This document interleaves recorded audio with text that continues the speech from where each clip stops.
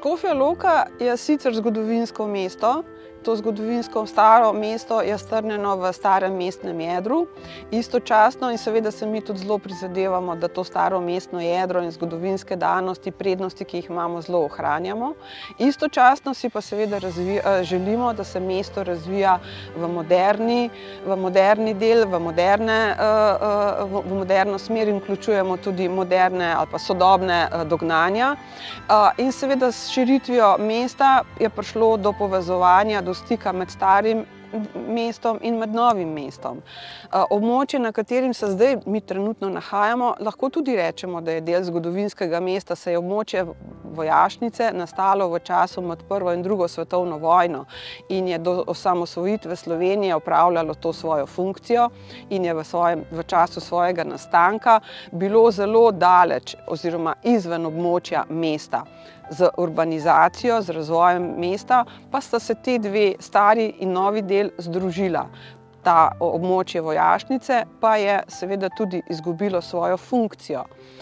Vojašnice, prostor kot tak, objekti pa so ostali.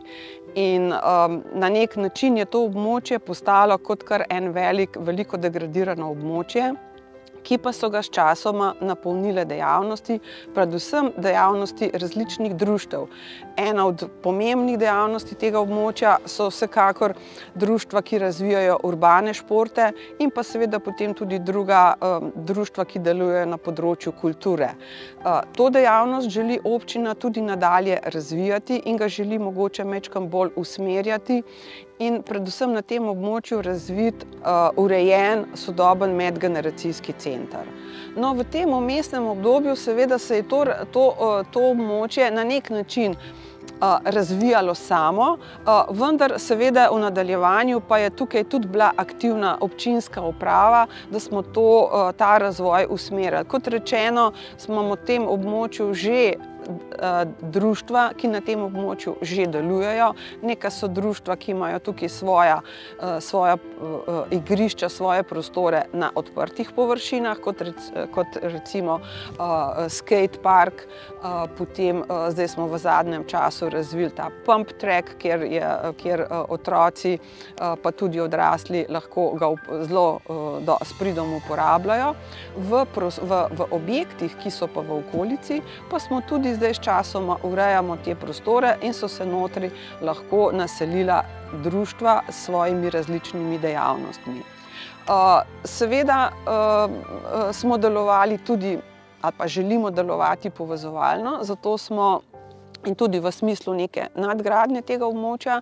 Zato smo v preteklosti organizirali tudi različne delavnice, kjer smo želeli, želeli ta društva, ki na tem območju delujejo, med sebojno povezati in pridobiti tudi njihove informacije, kaj za prihodnost si oni še želijo, kaj še potrebujejo, kaj temu prostoru manjka, da bodo lahko nadaljevali s svojimi dejavnosti. Skratka, v nadaljevanju želimo ta, to območje malce bolj urejeno in usklajeno urejati, um, da bo lahko delovalo tudi v smislu tega medgeneracijskega centra.